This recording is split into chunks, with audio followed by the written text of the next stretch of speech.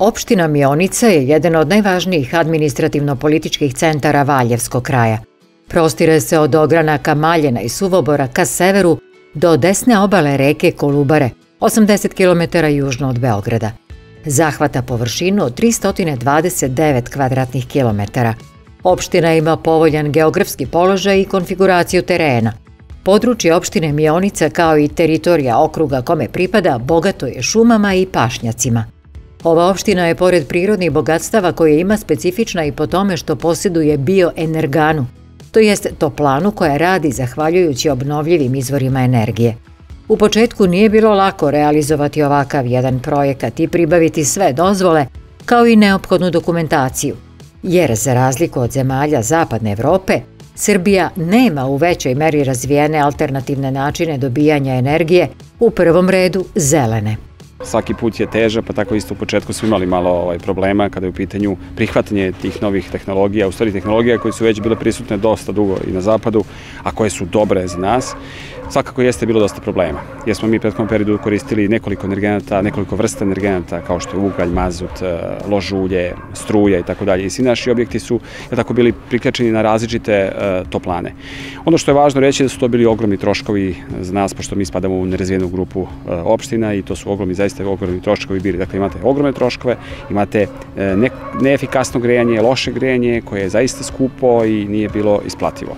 Ono što jeste bilo kod nas malo osporavanje je bilo kako će biti taj projekat, šta je to drvna stečka, kako ćemo mi to rešimo i tako dalje, kako ćemo dobiti dozvolu, šta ćemo uraditi sa tim i svakako, kažemo ovde baš da se nalazimo iza nas, ovo hala sportova, iza nas je škola, dakle to je bila neka stara toplana, školska toplana koju smo mi pretvorili u prvu javnu toplanu uh, u Srbiji na biomasu. I time sam ponosan zato što smo zaista taj projekat e, završili, stavili ga u funkciju i ono što je najvažnija stvar, sad je naš budžet e, dosta, dosta veći zato što nemamo tolike gubitke i ono što je još važnija stvar da naša deca i građani imaju kvalitetno grejanje, pre svega i dom zdravlja, i jedna škola, druga škola, hala sportova, e, zgrada opštine, stambene zgrade koje su prikačene to planu i tu nećemo stati, kažem, trenutno popunjuje se nekih oko 14.000 kvadrata, kapacitet je 30.000, mi radimo već projekat e, na, da proširimo tu mrežu, da se i domaćinstva koja su samostalno domaćinstva, kuće mogu priključiti na, na grejanje.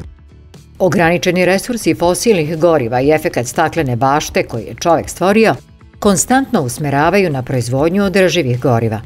Ovakav način grejanja na biomasu, pored velikih ušteda u finansijskom smislu, ima važnu karakteristiku koja se ogleda u tome što se njenim korišćenjem ne zagađuje životna sredina. Najčešće se koristi biomasa koja je nastala kao sporedni proizvod ili otpad, kao i ostaci koji se ne mogu više iskoristiti. Biomasa je izvor energije koji je konstantno dostupan u ekosistemima i koristi se kao gorivo u postrojenjima za proizvodnju električne i toplotne energije ili se prerađuje u gasovita i tekuća goriva. 2019. godine mi smo pustili u, u toplanovnu biomasu u rad i napravit ću vam komparaciju sa prethodnom godinom. Dakle, mi smo prethodne godine trošili 24 miliona dinara na energente, različite energente, kažem, pre svega to je bila električna energija, lož ulje, mazut, ugalj, lignit, drva. Dakle, sve je to na neki način sad stavljeno u stranu i mi smo u prvoj godini potrošili 9 miliona dinara na drvnu sečku. Zamislite vi koja je razlika između 9 miliona i 24, što je zvaka, svakako kažem, ostao novac u budžetu gde možemo da radimo na zgradnji novih igrališta, da posvetimo, da taj novac usmerimo tamo na ona mesta gde je to zaista potrebno. Na projektu je rađeno veoma intenzivno. Cilj je bio objasniti ljudima na koji način i kako je moguće da se implementira pogon na biomasu u ovoj sredini.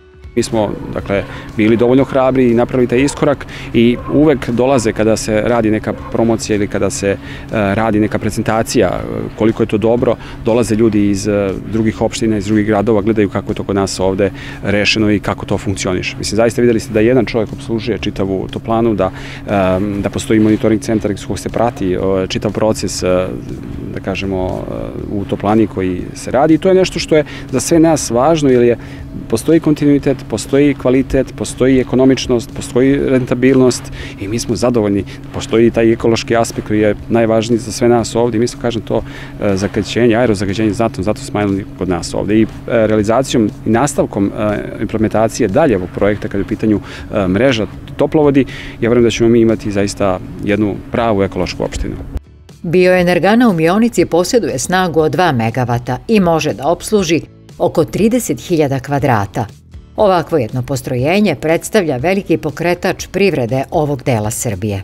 Mi planiramo u narednom periodu da, e, ako studija pokaže opravdanost, da istu jednu ovakvu toplanu na drugom kraju naše opštine e, postavimo kako bi imali zaista e, ljudima da ponudimo sve. No, kažem što mi jesmo mala opština, ali zamislite malu opštinu Mionicu koja ima javnu toplanu gde se može i domaćinstva priključiti nju kao nekom velikom gradu i tu smo ponosni na to. Jedan od većih problema ove, a i drugih opština u Srbiji jesu zaparložene parcele obrasle korovom – Ideja je da se uključi lokalno javno preduzeće opštine Mionica, koje će rašićavanje parcela pribavljati biomasu za rad postrojenja. Jedan od problema su isto tako obale koje su između na skladovima, između puteva, između parcela i tako dalje. Te obale zaista su zarasle i niko se ne brine o tome. Pogotovo sad u ovo vreme kad imate parcela koje su, uh, gde su vlasnici negde u inostranstvu ili Beogradu negde dalje, pa nema ko to da poseče i tako dalje. Znate, uh, kad krene čovjek sa velikom mašinom da u, u njivu da nešto radi, on ne može da prođe zbog tih obala. Šta je naša ideja? Naša ideja je da naše javno preduzeće opremimo sa kvalitetnom opremom, gde oni mogu da sami obrađuju te obale i to, tu živicu koja je porasla i da od nje pravimo u stvari drnu sečku. Znači imat ćemo jednu čistu jedne čiste parcele kao što je to na zapadu, a s druge strane imat ćemo jeftiniji ogrev. Dakle, imat ćemo sami ćemo proizvoditi drnu sečku. Sledeći primjer opštine i velikih ušteda koje se prave, pojavila se inicijativa i među većim farmama i privatnim licima da se grade nova postrojenja na zelenu energiju – Opština će nesebično pomagati oko pribavljanja dokumentacije i implementacije know-how tehnologije. Mi imamo jednu ovde kod nas na teritoriji naše opštine, pošto smo bogati sa proizvođačima mleka, sa mm, grlima e, stoke tako dalje. Oni imaju, e, postoji jedan privrednik koji je kupio jednu staru farmu koji je renovirao i zaista dosta uložio nju. E, to je kapaciteta, čini mi se neki 4000 grla i on radi na projektu proizvodnje električne energije iz metana. Dakle, to je jedan projekt kada smo njemu dali veliku, ogromnu podršku i rekli smo šta god bude trebalo od administracije, preko znanja, preko svega, mi smo tu da pomognemo i da eto, budemo i u tom segmentu napravimo jedan iskorak dalje, da budemo, eto, bar u našem kraju ovde među prvima sa uh, tom uh, bioenerganom na, na metan. Domaćin će svaki znati dobar savet se isplati sa novog portala Vreba Saveti sa Agroneba. Posetite ovog trena i nestaće ta dilema. agrosaveti.rs Sajt koji nudi odgovore.